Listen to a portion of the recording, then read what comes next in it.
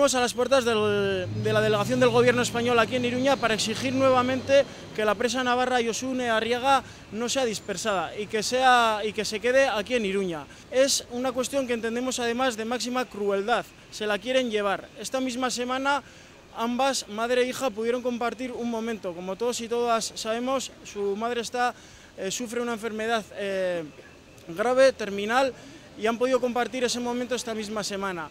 En este sentido, la razón para que pueda seguir visitando Yosune Arriaga a su madre es que permanezca en Iruña. Y eso eh, queremos denunciar de una manera clara hoy aquí. También tenemos, nos ha llegado esta misma semana, ayer pudimos conocer el caso del preso navarro Ventura Tomé, que dispersado en Murcia a miles de kilómetros de su casa y enfermo de cáncer, está recibiendo en unas condiciones deplorables la asistencia sanitaria, esposado. Es en este sentido que hoy aquí, todos y todas las que hemos venido, vamos a sentarnos, nos vamos a plantar eh, ante la delegación del gobierno español para que Yosune no sea dispersada y para que Aventura Tomé eh, sea trasladado de manera inmediata a Iruña y pueda recibir eh, en las mejores condiciones posibles la asistencia sanitaria que necesita.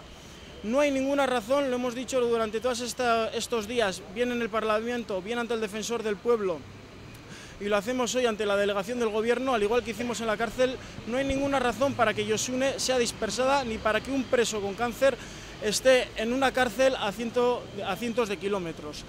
Eh, en este sentido, hoy a la mañana en la cárcel de Iruña se han, encadenado dos personas para impedir eh, que Yosune Arriaga sea llevada de Iruña, para impedir su, dispersión y en este sentido animamos a, toda la a toda la ciudadanía navarra a que se movilice, a que intente detener estas injusticias en el caso de Yosune y en el caso de, Ventura y, como decía, plantarnos, sentarnos ante esta delegación del gobierno español para que el gobierno español eh, finalice con el sufrimiento y, acaben eh, las políticas de excepción derivadas de esta política penitenciaria totalmente inaceptable y cruel.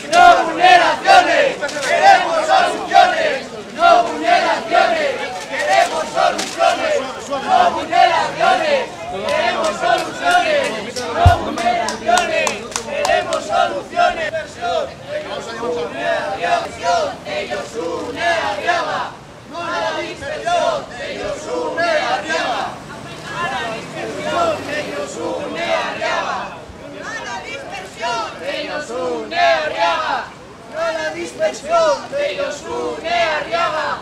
No la dispersión de Yosune Arriaga.